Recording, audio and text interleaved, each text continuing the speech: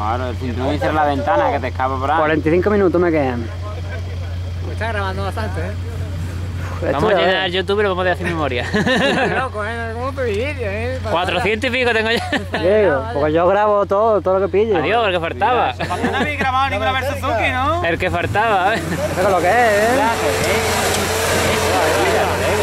Cómo puede subirse ese coche de carretera, Gol. No me ha dicho que el motor, ¿eh?